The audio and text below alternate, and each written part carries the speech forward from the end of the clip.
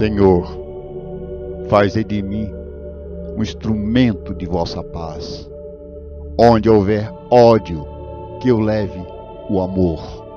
Onde houver ofensa, que eu leve o perdão. Onde houver discórdia, que eu leve a união. Onde houver dúvidas, que eu leve a fé. Onde houver erros, que eu leve a verdade. Onde houver desespero, que eu leve a esperança. Onde houver tristeza, que eu leve a alegria. Onde houver trevas, que eu leve a luz.